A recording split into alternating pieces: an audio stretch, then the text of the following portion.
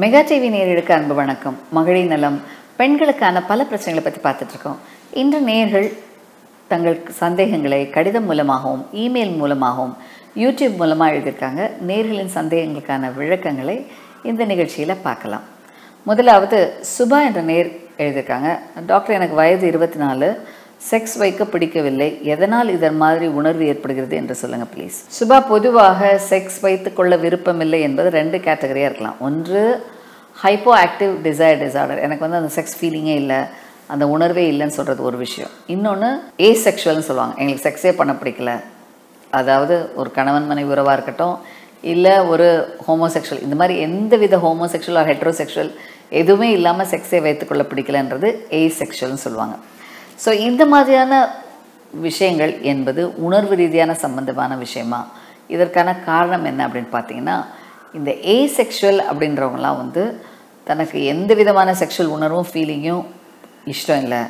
ஒரு ஆணோட உறவு கொள்வதும் விருப்பம் இல்லை. ஒரு பெண்ணோட பெண்ணோடு இணைந்து வாழ்வதும் இணைந்திருப்பதும் பிடிக்கலன்னு சொல்லுவாங்க. இவங்களுக்கு வந்து அவங்களோட ஃபீலிங் செக்ஷுவல் ஃபீலிங்கே இல்லைன்னு சொல்கிறது ஏ செக்ஷுவல் கிட்டத்தட்ட டூ பர்சன்ட் ஆஃப் த பெண்களுக்கு இந்த மாதிரி பிரச்சனைகள் இருக்கிறது. ஏன் இந்த மாதிரி செக்ஷுவல் உணர்வு பிடிக்காத நிலையாச்சுது அப்படின்னா பொதுவாக இந்த பால் உணர்வு இல்லாததுங்கிறது வந்து பல ஆய்வுகளும் சொல்லப்பட்ட ஒரு விஷயம் வந்து சிறு வயதில் ஏற்படுற பாலியல் வன்முறை. அதாவது சின்ன வயசில் இருக்கிற செக்ஷுவல் அப்யூஸ் செக்ஷுவல் இன்சல்ட் சில நேரங்களில் இதை பற்றி செக்ஸை பற்றி சரியான முறையில் ஒரு ரிலீஜியஸ் ஒரு மத சார்புள்ளவங்க இல்லை ரிலீஜியஸ் ஆர்த்தடாக்ஸ் இருக்கிறவங்க இது ஒரு தவறு இது ஒரு பாவமான விஷயம் அப்படின்னு சொல்கிற ஒரு கருத்துக்களில் மனதில் ஆழமாக பதியும் போது இந்த பிரச்சனைகள் வரும். சுபா உங்களை பொறுத்த வரைக்கும் உங்களுக்கு நான் சொல்கிற ஒரு விஷயம் ஏ செக்ஷுவல்னு ஒரு கேட்டகரி இருக்காங்க. இந்த ஏ செக்ஷுவல் என்பவங்க வந்து செக்ஸை பற்றி அவங்களுக்கு இன்ட்ரெஸ்ட் உணர்வுகள் எந்த காலத்துலையும் யாருக்கு பார்த்தாலும் வராது. ஸோ இதுக்கு முக்கியமான காரணம் பல நேரங்களில் ஏற்படுற சில பாலியல் வன்முறைகள் தான். ஸோ இந்த வகையில் இவர்களுக்கு இந்த ஏ செக்ஸ் செக்ஷுவல் செக்ஸே இல்லாத லைஃப் அப்படிங்கிற பெண்கள் கூட கண்டிப்பாக இவங்க திருமணத்துக்கு அப்போ அப்புறம் வந்து உறவு கொள்ள முடியல பிரச்சனை இருக்குது அப்படின்னா இதற்கு தகுதி பெற்ற மருத்துவர் அணுகி முறையாக பரிசோதித்து என்ன குறைகள்னு கண்டுபிடிச்சு அதற்கான தீர்வுகள் எடுக்கும்போது இந்த பிரச்சனையை முழுமையாக சரிப்படுத்தலாம். சுபா உங்களுக்கு நான் சொல்கிற அட்வைஸ் என்னென்னா முதல்ல நீங்கள் வந்து ஒரு தகுதி பெற்ற செக்ஷுவல் மெடிசன் பார்க்குற ஒரு நல்ல ஒரு கன்சல்டண்ட்டை போய் முறையாக ஒரு கவுன்சிலிங் எடுங்க. என்ன காரணம் உங்கள் ஆழ்மனதில் இருக்குது என்பதை தெரிந்து கொண்டால் தான் இந்த பிரச்சனையை அழகாக சரி செய்ய முடியும். பிரச்சனையே இல்லை உடல் ரீதியான சில பிரச்சனைகள்னாலும் இது வரலாம். பல நேரங்களில் சில பெண்களுக்கு உடல் ரீதியாக ஏற்படுற வலிகள்னாலே இந்த பிரச்சனை வரலாம்.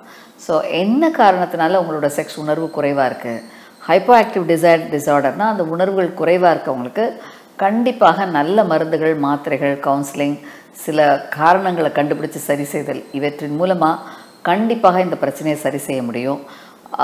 ஒரு பாலியல் உணர்வு செக்ஸ் ஃபீலிங் குறைவாக இருப்பதுங்கிறது பல காலகட்டங்களில் பெண்களுக்கு இருக்கிற விஷயம். ஆனால் இதை முறையாக கண்டுபிடிச்சு சரி செய்யும் பொழுது கண்டிப்பாக இந்த பிரச்சனைக்கு தீர்வு கிடைக்கும். ஏன்னா இதனால் சில நேரங்களில் கணவன் மனைவி ரிலேஷன்ஷிப் உறவுகள்லையும் பிரச்சனைகள் வரலாம். இதனால் உங்கள் குடும்ப உறவுகளும் வளர் உங்கள் அன்பு நேசங்களிலும் பாதிப்பு ஏற்படலாம். ஸோ ஆரம்ப நிலையில் இதை சரி செய்து கொள்ளுங்கள் ஆரோக்கியமாக வாழ்வதற்கு. அடுத்து கண்மணி என்ற நேயர்கள் டாக்டர் பிறப்புறப்பில் எனக்கு எரிச்சலாக இருக்கிறது. கர்ப்பப்பை வாய் புண்ணு இருக்குமா? அதனால் கர்ப்பப்பை எடுக்க வேண்டும்னு சொல்கிறாங்க இல்லைன்னா வேக்சின் போட சொல்கிறாங்க எனக்கு குழப்பமாக இருக்கிறது. உங்கள் விளக்கம் தேவை. ஸோ கண்மணி பொதுவாக அந்த பிறப்புறப்பில் எரிச்சல் பேர்னிங் சென்சேஷன் சொல்வது பல நேரங்களில் தொத்துக்கள்னால வரலாம் இன்ஃபெக்ஷனால் வரலாம் பல நேரங்களில் ஹார்மோன் மாற்றங்கள்னால வரலாம். பெண் உறுப்பில் ஏற்படுற உலர்வு ட்ரைனஸ் இப்போ நம்ம ஒரு ஸ்கின் ட்ரை ஆச்சுன்னா அந்த இடத்துல லேசாக ஒரு ஏதாவது பட்டால் கூட எரியும். வாயில் சில நேரம் தண்ணியில் வாய் உலர்ந்து போகும்போது எரிச்சல் ஏற்படலாம். இந்த மாதிரியான ஸ்கின் அலர்ஜி ஸ்கின் உர ட்ரைனஸ் இதுவும் கூட இந்த மாதிரி பிரச்சனைகளை உருவாக்கலாம். ஸோ முதல்ல உங்களோட எரிச்சலுக்கு காரணம் என்ன என்பதை பாருங்கள் இது ஒரு தனி என்டிட்டி கர்ப்பவாயில் புண்ணு சர்வைக்கல் இரோஷன் சொல்கிறாங்களே இந்த கர்ப்பவாயில் புண்ணு எதனால் ஏற்படுகிறது? இதற்கான சில ப டெஸ்ட்டுகள் இருக்குது ஒரு பேப்ஸ்மியர் எடுத்து பார்க்கலாம். இந்த பேப்ஸ்மியரில் ஒருவேளை அந்த பேப்ஸ்மியர் பாசிட்டிவ் இருந்தால் ஹெச்பிவி டெஸ்டிங் சொல்லுவோம். ஹியூமன் பேப்பிலோமா வைரஸ் டெஸ்டிங் அந்த பெண் உறுப்பில் இருக்க வெள்ளை எடுத்து டெஸ்ட் பண்ணி பார்ப்போம். இதன் மூலமாக இந்த தொத்துக்கள்னால கர்ப்பவாயில் புண்ணு புண்ணால் பிற்காலத்தில் ஒரு கேன்சராக மாறலாமா என்பதை முன் அறிவிப்பது அறிவதற்கு இந்த ஸ்க்ரீனிங் டெஸ்ட் யூஸ் பண்ணுறாங்க இந்த ஹெச்பிவி டெஸ்டிங் எடுத்த பெண்களுக்கு இது பாசிட்டிவாக நெகட்டிவாக இது பாசிட்டிவாக இருந்தால் கண்டிப்பாக அந்த கர்ப்பவாய் புண்ணிலேருந்து ஒரு பயாப்சி எடுத்து வேறு ஒரு வேளை ஆழங்களில் ஏதாவது கர்ப்பப்பை வாய் புற்றுநோய் இருக்கிறதா என்பதை பார்க்கலாம். ஹெச்பிவி நெகட்டிவாக இருந்தால் பொதுவாக இது கேன்சராக இருக்காது. பல நேரங்களில் உங்கள் ஹார்மோன் மாற்றங்கள் உங்களுடைய உடலில் ஏற்படுற சில அலர்ஜிஸ் சில நேரங்கள் அந்த அந்த பெண் உறுப்பில் ஏற்படுற உலர்வு தன்மை பல நேரங்களில் நீங்கள் யூஸ் பண்ணுற டெட்டால் சோப்பு இதெல்லாம் அந்த இடத்துல போடக்கூடாது. இதனால் அந்த உலர்வு தன்மை அதிகமாகி அதுவே எரிச்சலை உண்டாக்கலாம். சில நேரங்களில் உடல் ரீதியாக இரத்த சோகை anaemia vitamin B twelve B six deficiency மற்றும் பெண்களுக்கு தைராய்டு ப்ராப்ளம் இருந்தால் இதெல்லாம் ஒரு சில காரணங்களில் பெண் உறுப்பில் எரிச்சல் ஏற்படுவதற்கான காரணமாகவும் அமையலாம். ஸோ கண்டிப்பாக இந்த எரிச்சல் என்ன காரணத்தினால வருகிறது? ஏன் வருகிறதுன்று பாருங்கள் ரெண்டாவது கர்ப்பப்பை வாயில் புண்ணு இருந்தால் அதற்கு எளிமையான பாப்ஸ்மியர் முறை மூலமாக என்ன வகையான இன்ஃபெக்ஷன்ஸ் ஏன் ஏற்படுகிறது என்பதை கண்டறிந்து அதற்கான ஸ்பெசிஃபிக் ட்ரீட்மெண்ட் கொடுக்கும்போது இந்த எரிச்சல் முழுமையாக குறைவாகும். தேவையில்லாமல் கர்ப்பப்பையில் பரிசோதனைகளை தவிர்ப்பது நல்லது. தேவைப்படும் பொழுது வருஷம் ஒரு முறை ஸ்க்ரீனிங் செய்யும் பொழுது இந்த மாதிரியான பிரச்சனைகள் வருவதை தடுக்கவும் முடியும். ஆரோக்கியமாகவும் வாழ முடியும். அடுத்து சுகுணா என்ற நேர் எழுதியிருக்கிறாங்க டாக்டர் லெப்ரசி பரம்பரை வியாதின்னு சொல்கிறாங்க சரியா? கண்டிப்பாக கிடையாது சுகுணா. லெப்ரசி என்பது பொதுவாக ஒரு இன்ஃபெக்ஷன் இந்த இன்ஃபெக்ஷனில் நம்ம டிபி மாதிரியே இந்த இன்ஃபெக்ஷன் லாங் க்ரானிக் இன்ஃபெக்ஷன் இந்த தொத்து ஏற்படுறது இது நரம்புகளை பாதிக்குது. நரம்புகளை பாதிக்கிறனால அந்த ஸ்கின்ல உள்ள கலர் மாற்றங்கள் ஏற்படுகிறது. அதில் நரம்பில் அதிகமாகும் போது பல நேரங்களில் சென்ட்ரல பிரச்சனைகளையும் உருவாக்கலாம். ஸோ இந்த லெப்ரசி என்பது ஒரு மைக்கோபாக்டீரியம் லெப்ரை அப்படின்ற ஒரு கிருமிகள்னால உருவாகிற ஒரு தோல் வியாதி.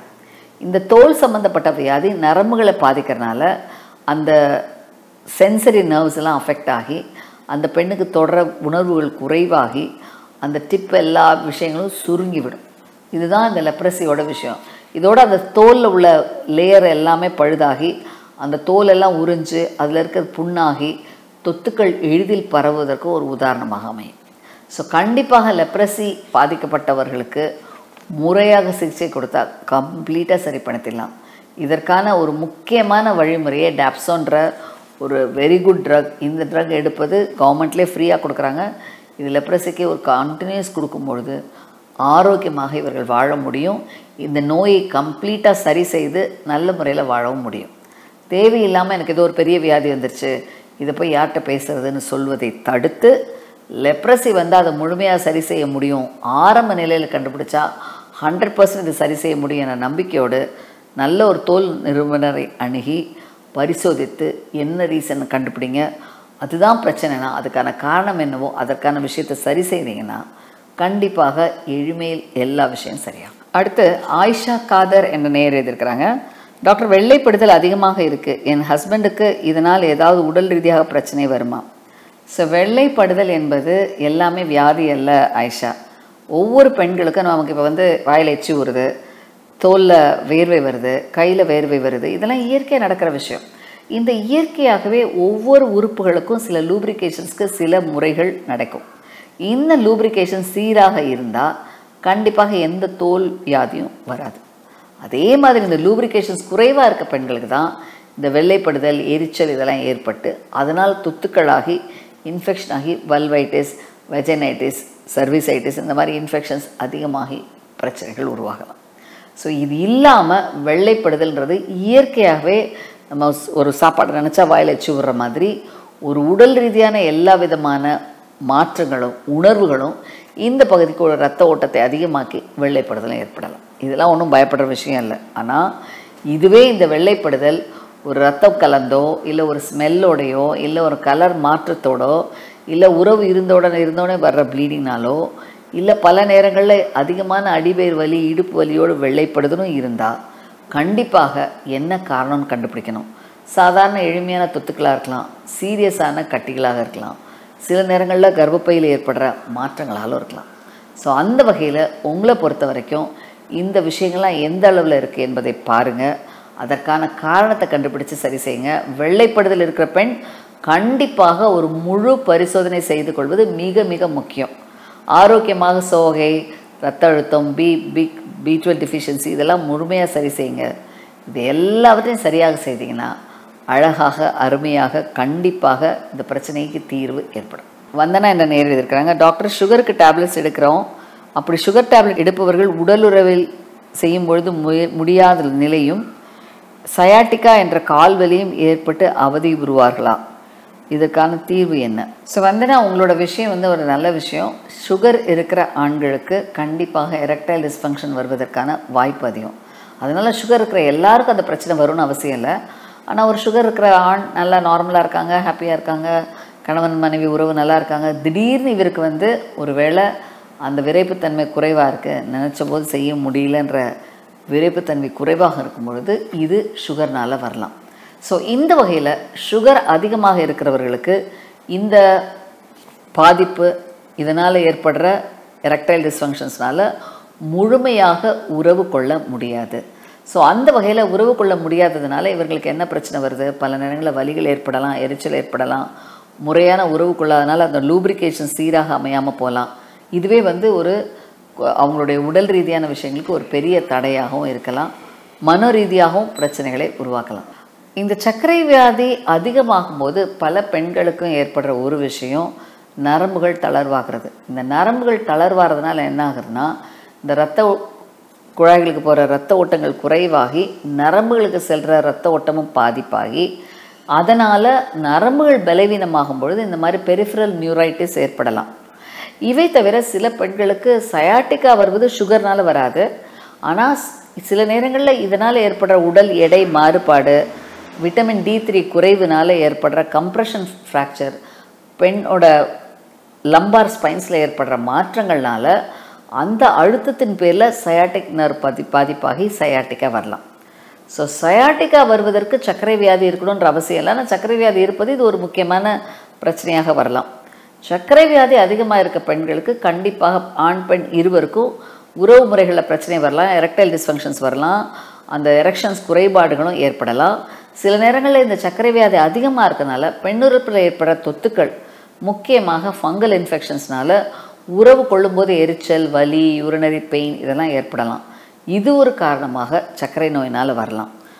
இது தவிர பல நேரங்களில் இந்த சர்க்கரை நோய் பாதிப்பு இருக்கிற ஆண் பெண் இருவருக்கும் ஏற்படுற ஒரு முக்கியமான பிரச்சனை காலில் எரிச்சல் பெண் உறுப்பில் ஏற்படுற எரிச்சல். இதெல்லாம் முக்கியமாக ஏற்படும். இதுக்கு முக்கியமான காரணம் peripheral neuritis plus hormone imbalance இதனால் ஏற்படுற விளைவுகள்னால அந்த அந்த அதற்கு மேலுள்ள பகுதியெல்லாம் சுருங்கி ட்ரை ஆகிறதுனால இந்த பிரச்சனைகள் அதிகமாகவும் ஏற்படுகிறது.